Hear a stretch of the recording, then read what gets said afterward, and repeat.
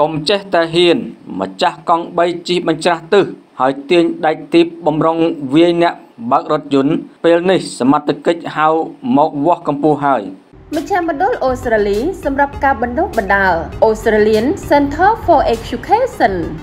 បរោះអ្នកបើកបរកង់3ដែលជិះបញ្ច្រាស់ទឹះហើយទាញដាច់ទីបបំរុងវាយអ្នកបើករថយន្តនៅតាមបណ្ដោយផ្លូវមហាវិថីព្រះនរោត្តម បង្កឲ្យមានការភ្ញាក់ផ្អើលនិងចែកចាយពេញបណ្ដាញសង្គមកាលពីថ្ងៃទី15ខែសីហាឆ្នាំ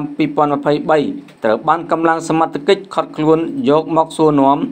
និងចាត់ការតាមនីតិវិធីច្បាប់គណៈសកម្មភាពនេះមហាជនស្មានថា ជាការសម្ដែងរបស់ក្រុមថតវីឡុករកប្រាក់លោកឧត្តមស្នេហ៍ត្រីសានសុកសីហា អ្នកនាំពាក្យស្នងការដ្ឋាននគរបាលរាជធានីភ្នំពេញ បានបញ្ជាក់ថា បន្ទាប់ពីបានឃើញវីដេអូនៅលើបណ្ដាញសង្គមភ្លាម លោកឧត្តមស្នេហ៍ឯកសោថេតអគ្គស្នងការរង និងជាស្នងការនគរបាលរាជធានីភ្នំពេញបានដាក់បទបញ្ជាដល់សមត្ថកិច្ចត្រូវធ្វើការស្រាវជ្រាវរកអ្នក បើកបរម៉ូតូកង់3ជិះបញ្ច្រាស់ទិសហើយបានយកដែកទីបមកគម្រាមវាយអ្នកបើកបររថយន្តនោះឲ្យឃើញអនុវត្តតាមបទបញ្ជាកម្លាំងនៃអធិការដ្ឋាននគរបាលខណ្ឌចំការមនបានធ្វើការសហការជាមួយកម្លាំងនៃអធិការដ្ឋាននគរបាលស្រុកសាច់កណ្ដាលខេត្តកណ្ដាលបានធ្វើការខាត់ខ្លួនបុរសម្នាក់បើកបរកង់3ឥណ្ឌាដែលបើកបញ្ច្រាស់ទិស នៅតាមបណ្ដោយផ្លូវព្រះនរោត្តមសង្កាត់ទន្លេបាសាក់ខណ្ឌចំការមន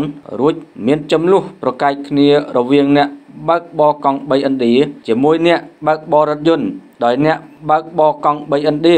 មានបំណងប្រើប្រាស់ដាច់ទីបវាយទៅលើម្ចាស់រថយន្តនិងអ្នករួមដំណើរក្នុងរថយន្តនោះក្រោយកើតហេតុកម្លាំងចម្រុះបានសហការជាមួយកម្លាំងស្នងការដ្ឋាននគរបាលខេត្តកណ្ដាលស្រាវជ្រាវរហូតខត់ខ្លួនម្ចាស់កង់3ឥណ្ឌាខាងលើជាមួយគ្នានេះលោកឧត្តមស្នេហ៍តូឈឿនសុចិត្តស្នងការនគរបាលខេត្តកណ្ដាលបានឲ្យដឹងថា អ្នកបើកបរកង់3ខាងលើត្រូវបានកម្លាំងអធិការដ្ឋាននគរបាលស្រុកខ្សាច់កណ្ដាលចុះទៅឃាត់ខ្លួនដល់ផ្ទះតែម្ដង ដែលមានទីតាំងស្ថិតនៅឃុំព្រែកតាមាក់ស្រុកខ្សាច់កណ្ដាលខេត្តកណ្ដាលដើម្បីប្រគល់ជូនស្នងការដ្ឋាននគរបាលរាជធានីភ្នំពេញចាត់ការបន្តតាមនីតិវិធី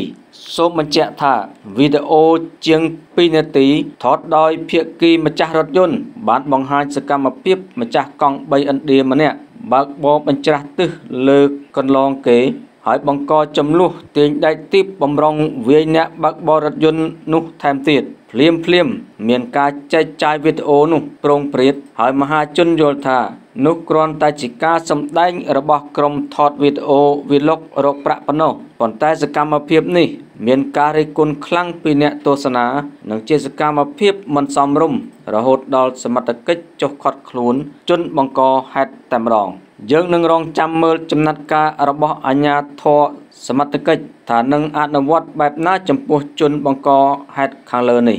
មជ្ឈមណ្ឌលអូស្ត្រាលីសម្រាប់ការបណ្ដុះបណ្ដាល Australian Center for Education